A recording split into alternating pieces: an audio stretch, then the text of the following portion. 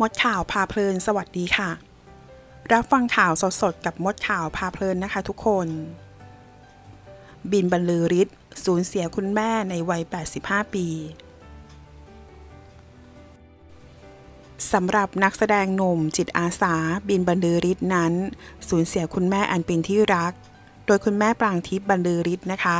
เสียชีวิตด้วยโรคชราในวัย 85 ปี ดย Facebook ของบินบรรลือฤทธิ์นั้นได้โพสต์ภาพคู่กับคุณแม่ พร้อมระบุแคปชั่นว่า กราบเท้าคุณแม่ที่แสนดีของลูก เกิดชาติหน้าผมขอเป็นลูกแม่ตลอดทุกชาติไปนะแม่จ๋า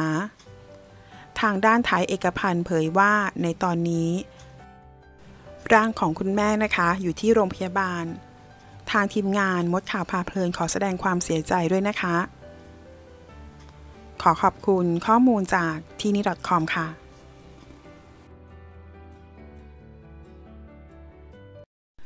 ถ้าเพื่อนๆชอบคลิปนี้ฝากกดไลค์และกดกระดิ่งติดตามเพื่อเป็นกำลังใจให้ช่องมดข่าวพาเพลินด้วยนะคะ ขอบคุณค่ะ